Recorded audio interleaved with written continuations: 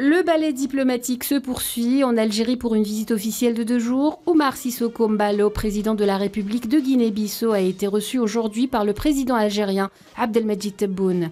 Après un accueil officiel au siège de la présidence de la République, les deux hommes se sont entretenus en tête à tête.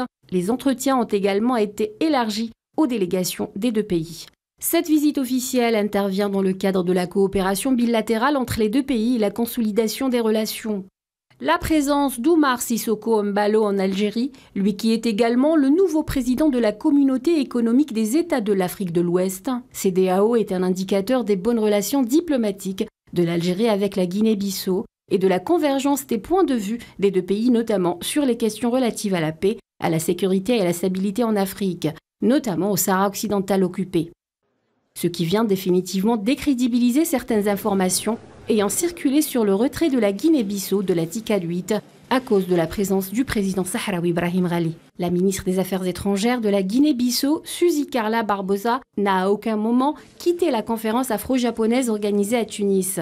Preuve irréfutable que ce n'était que des rumeurs, la chef de la diplomatie guinéenne a pris part au débat général sur les questions relatives à la paix, à la sécurité et à la lutte antiterroriste organisée dimanche, c'est-à-dire le deuxième et dernier jour de la TICAD.